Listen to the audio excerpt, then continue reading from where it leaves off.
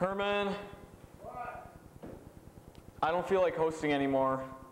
You haven't started yet. Shut up and get somebody else to host. Get some, like who? I don't know, go upstairs and find somebody. There's no one upstairs. Just go! All right, fine.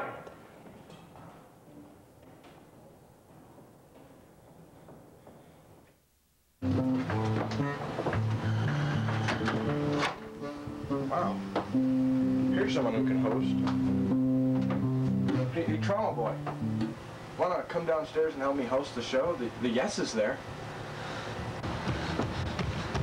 Yeah, cock. I'd like cock. No!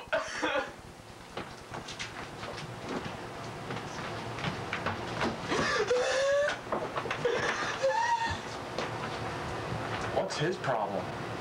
I don't even go back downstairs, I guess. God.